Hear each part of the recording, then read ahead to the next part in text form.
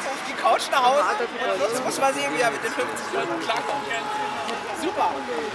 Aber nichtsdestotrotz, das wird das, das Das wird alles. Okay, ich danke euch erstmal für euer Verständnis. Das ist wirklich ganz toll.